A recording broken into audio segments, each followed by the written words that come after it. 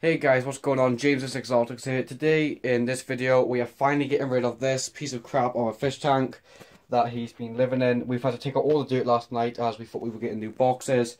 Turns out we weren't, so we've got a lot to do today. I've got him a 3x2 by 2 foot, and helping me out today is going to be Cameron. So, I need a bit of help getting these boxes, but we're going to completely rearrange my bedroom not sure how long it's going to take, but we've got new lights and stuff, and we're going to head downstairs, and I will show you the boxes we've got. And then uh, we'll crack on with our video as I'm going to just do cuts, so I'll put you into different parts of the video. But we've been cleaning them out, they were stinking where we got them.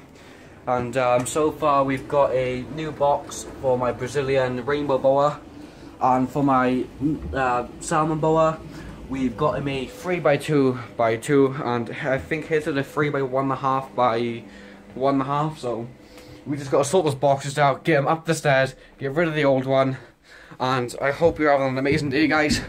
So like and subscribe to this video if you enjoy it and I will show you the progress we make throughout the video. Hope you enjoy it so far. So this is my uh, guy Sandy. As I called him, he's a salmon boa along with my other female boa and he's the one we're going to be changing over today from a box which is tiny from delivering and for now we're just going to clean it up and sort him out. He's currently in shed so we're waiting for him to come with pretty colours anytime soon. And then um, hopefully we should get ready for he's gone he's gone. Hopefully we can get ready for um like stacking properly and we can look into further from breeding at some point he weighs about two kilos. He's not very long compared to my female, but he's about nearly fully grown, I think, now.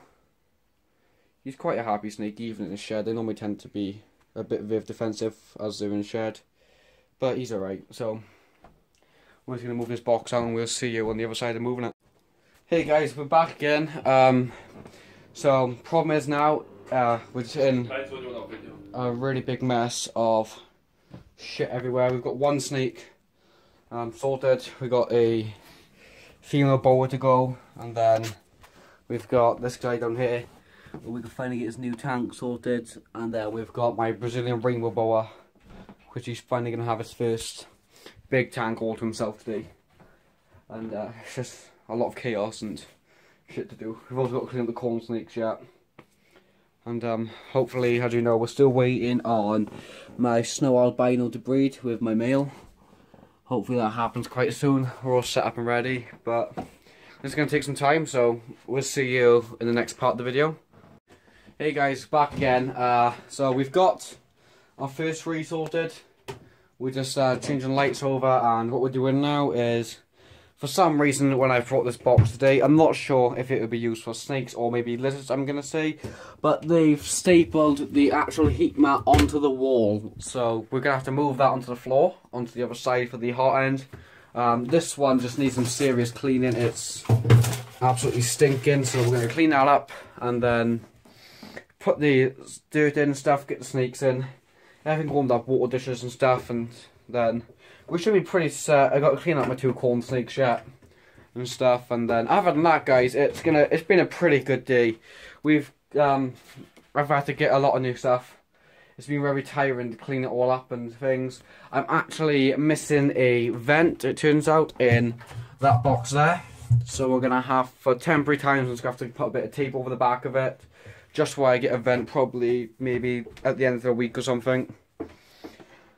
But uh, it's been a very tiring day, and we haven't really got much left to do now other than sort out the substrates, put the snakes in, and get them settled with their new homes. Not really sure if a 3 foot tank is too big for my rainbow boa. If you see him in the last video, then you'll know he's very, very small. He's probably about maybe a foot, a foot and a half.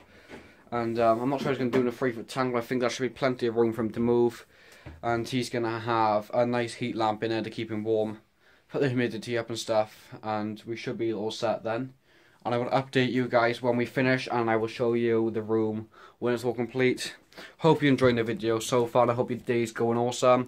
I will see you in about 10 minutes, guys. So we're just getting to the point now where we are actually still, still mucking around with these boxes as we finally got one light in one.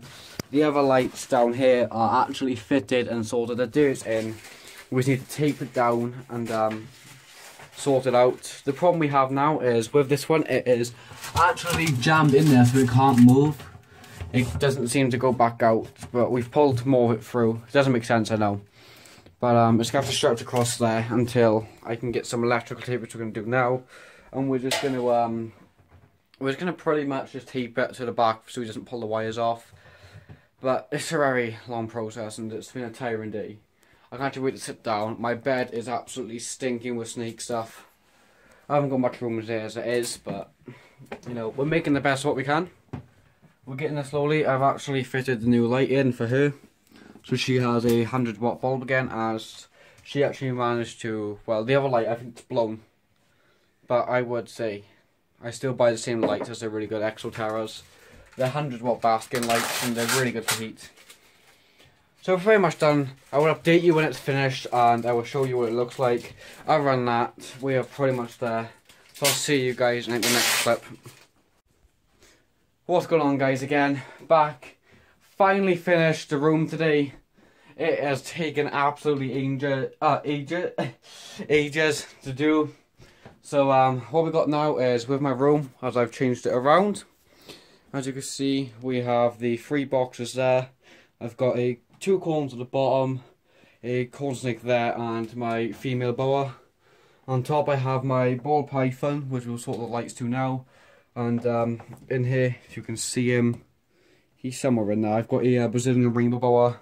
And we finally sorted out the last biggest cage at the bottom, where I've got my male salmon boa, which is currently in shed.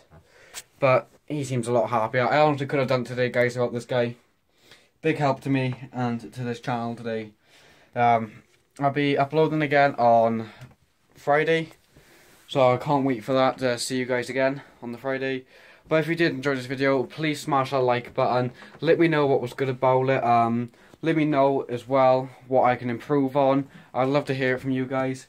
And for anyone's information, if you did notice with my male, he doesn't actually have a light guard yet, which I'm going to sort out probably tomorrow as all the other ones do have cages. The lights on the right, so like them ones that are incredibly bright, they don't actually produce any heat at all. So I haven't got to put in cages on them. It's just the basking lights is what I put cages on. But I really hope you enjoyed the video guys. Please like and subscribe and I will see you on Friday.